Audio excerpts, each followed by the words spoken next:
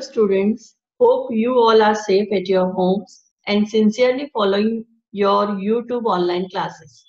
Welcome to the online class of computer. I am Manisha Ratu, your computer teacher. Today I will be discussing on the topic number systems. Let's get started. Before we move on further, let's get an idea what actually number system is. A set of values used to represent different quantities is known as number system. There are basically four types of number systems. Decimal number system, binary number system, octal number system, hexadecimal number system. We will be discussing uh, each of them in brief. Slide 4. First type of number system is the decimal number system. A decimal number system has only 10 digits from 0 to 9. These digits are 0, 1, 2, 3, 4, 5, 6, 7, 8 and 9.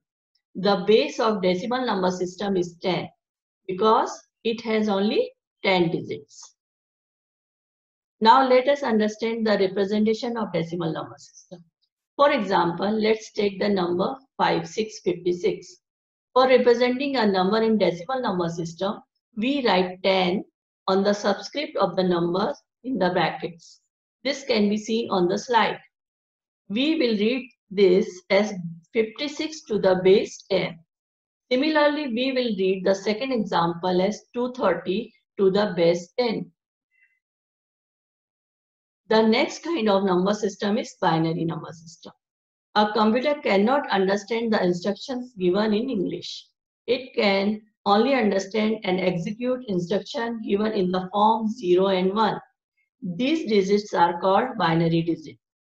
The base of binary number system is 2 because it has only two digits 0 and 1. In this slide, we can represent of the binary number system. For example, 11010 base 2 or 10 base 2. Now students in the lecture we will discussing upon binary and decimal number system only. We will be discussing the other two remaining system in the next lecture. Moving on further, we will now discuss some basic conversions. First, we learn how we can convert a decimal number into a binary number. Let take an example. Have I, here I have taken a decimal number 204 and shown uh, the step that converted into binary. Students remember one thing.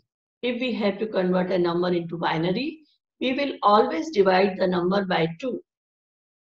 As binary is always of base 2, we have taken a decimal number 204.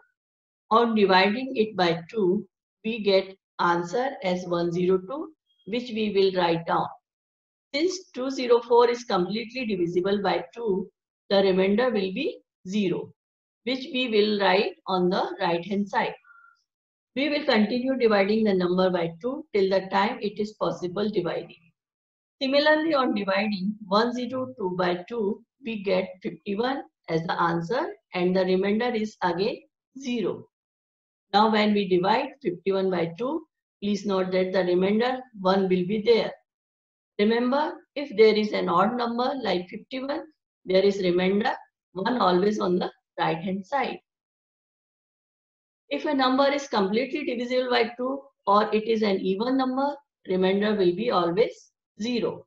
We will keep on repeating the process till the time we get 1 at the bottom which is not divisible by 2.